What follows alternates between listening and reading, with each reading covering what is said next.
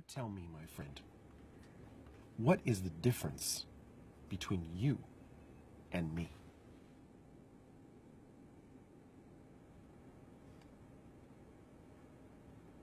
There is no difference. Absolutely none.